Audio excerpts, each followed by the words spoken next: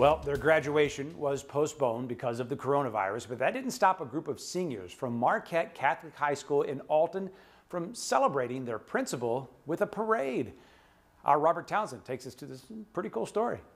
They taped ribbons and balloons to their cars and then lined up by the dozens outside Marquette Catholic High School in Alton. Scores of seniors ready for one special event.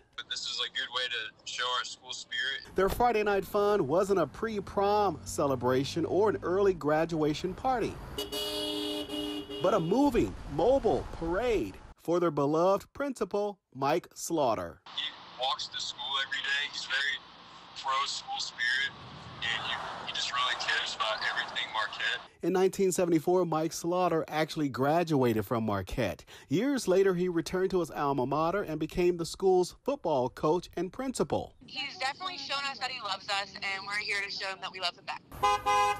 The huge crowd of seniors, parents, and pooches practiced social distancing, stayed in their cars, and then slowly drove a few blocks. Hey, how you doing? To shower Mr. Slaughter with lots of love. It blew me away. It's, it's really, it's, it's unbelievable. I was inside watching Channel 5 News, and uh, my wife said, Mike, come out here. And I, I didn't know what she wanted now, and I almost didn't come. An elated Mike almost brought to tears. no idea at all. Didn't even have time to grab some shoes. I have no, I, I shaved and my hair. I would have put shoes on. Not even a pandemic could stop an unexpected gift Thank you.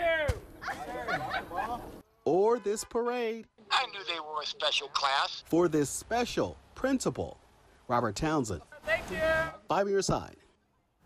You know, he had a special effect on them, don't you think, Morgan? Oh, And by the way, Robert says uh, he hopes they can still get their graduation in sometime.